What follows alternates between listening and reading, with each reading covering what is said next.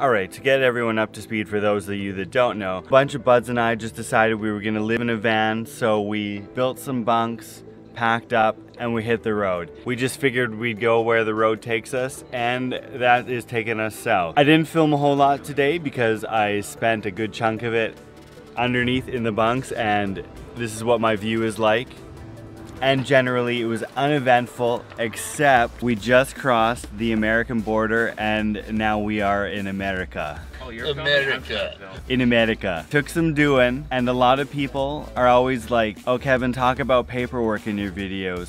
So here's a little paperwork story. It takes a bit of processing to get your Canadian visa to be able to travel in the States for our particular type of travel. It was a little bit nerve wracking because they can severely ruin your day if they want to. Fortunately, they got us through. Now that we're on the other side, generally I wouldn't be eating this late at night, but we have to celebrate and this is, it. This is success. We're in America. Doritos Locos Tacos. Last night after the tacos, we just drove until everyone was sleepy and then pulled over for the rest of the night. That's just that's just the way of the road. That's how she goes. So our first jaunt is from home to Reno. Google Maps is telling us that's about a 25 hour drive.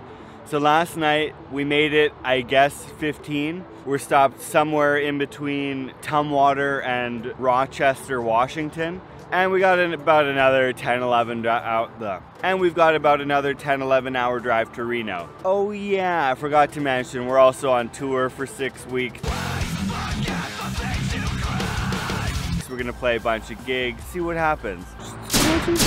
Come. I'm just kind of waking up in this mysterious rest stop. I'm gonna leave the tour of it for tomorrow's video, so come back and check that one out keep checking back because of course we're to be doing a lot of traveling, a lot of shows, so I'm to have a lot of videos up for you. Thanks again, deuces.